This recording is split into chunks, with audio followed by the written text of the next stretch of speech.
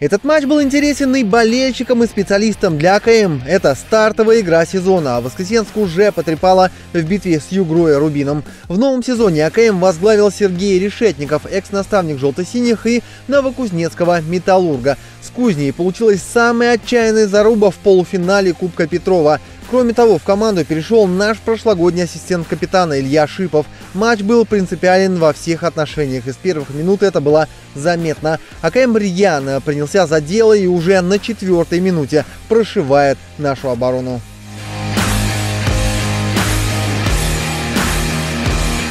Но ну, реализовать тулюкам весь свой запал не дали оборонительные порядки химика, наш голкипер Дмитрий Куликов и разящие контратаки. Тем не менее, желто-синие никак не могли подобрать ключик к воротам гостей, пока защитники АКМ не свалили на пятиминутный штраф.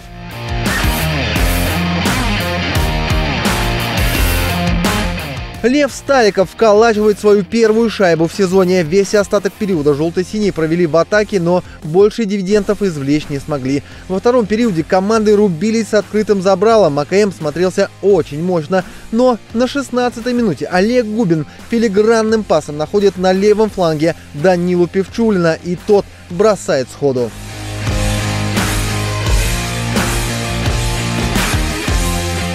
Но не успели болельщики порадоваться, как АКМ сравнял счет. Курьезная шайба залетела от конька нашего защитника.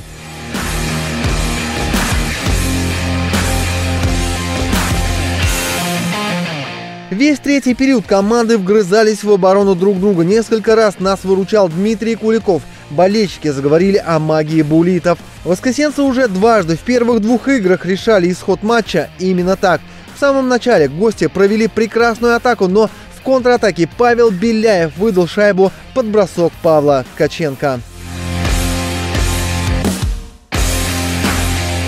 3-2 победы химиков дополнительное время, а Павел Ткаченко забивает вторую победную шайбу. Третья – тяжелая победа желто-синих, но над лидерами чемпионата. Шикарный старт. В четверг, 7 сентября, химик проводит завершающую встречу домашней серии против Парма ЦСКА Московской звезды. Приходите на матч в 18.30. Денис Неткулов, новости Искровек.